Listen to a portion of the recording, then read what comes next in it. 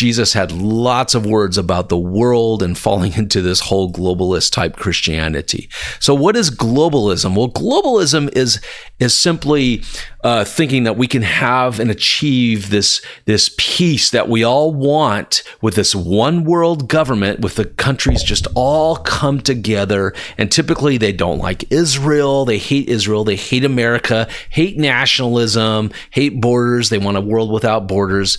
Blah blah blah blah. It goes on and on, but it's wrong. And I believe that Satan is using it and he's actually infiltrating into the church now with it. And it's not good because a lot of these people, like uh, the Rockefeller Foundation, George Soros, um, the World Economic Forum, and the World, uh, uh, the Criminal Court, all these different things, they work together, but they also work very against Israel and against America and ultimately against God, against Jesus. And that's not good for our pastors and leaders to be involved in that. You guys, it's not good at all.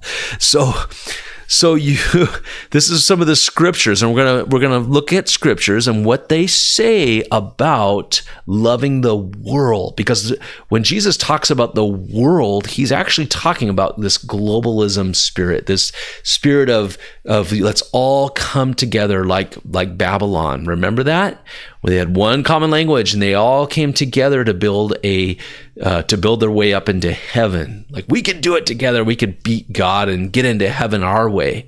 Well, there's a lot of scriptures about this this world not being about Jesus because it's not.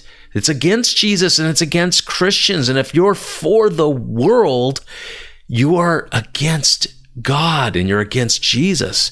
Here's a scripture in James right here. It says, You adulterous people, do not know, you do not know that friendship with the world is enmity with God. That means enemy. You're being an enemy with God.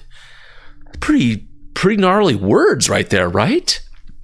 Now check this one out. Therefore, whoever wishes to be a friend of the world makes himself an enemy of God. James 4 4. Matthew 24, Jesus talked about his return at the end of the days, and he's talking about what it will be like. And he says this He says, But if that wicked servant says to himself, My master is delayed because a lot of these globalist Christians and pastors believe Jesus is delayed right now because they think they're going to escort him in by spreading the good news about him throughout the world. And then finally he'll say, okay, you finally got it. I'll come back. That's false teaching, you guys. So Matthew 24 continues and it says, let's go back to it and for reference. But if that wicked servant says to himself, my master is delayed, right? He and begins to beat his fellow servants, servant, and eat. He eats and he drinks with the drunkards, right? The drunkards of this world. The master of that servant will come on a day when he does not know, does not expect him, and at an hour he does not know. Whoa. And will cut him in pieces and put him with the hypocrites in that place where there will be weeping and gnashing of teeth. Those are strong, strong words, right? Well, when he comes back, Jesus comes back, he's coming back with vengeance, the vengeance of God. So the love of the Father cannot be in us if we love the world. Yeah, you might be saying, well, we're supposed to love people and love the world. No, no, no. He's specifically talking about this world, like globalism. The love of the Father cannot be in us or in you if you are into global, if you love globalism. Separate yourselves from that, you guys. First John 2, chapter 2, verses 15 through 16. If the love of the Father, excuse me, the love of the Father cannot be in us if we love the world. Think about that. Jesus did this prayer. He said this while praying. He says, I am praying for them, Father I am not praying for the world, but for those whom you have given to me, Jesus said. That's in John chapter 17, verse 9. I'm praying for them. I'm not praying for the world. So Jesus is not about globalism.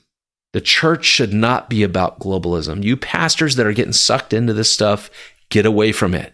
In fact, there's even a Bible study, so called Bible study, It's called the after party.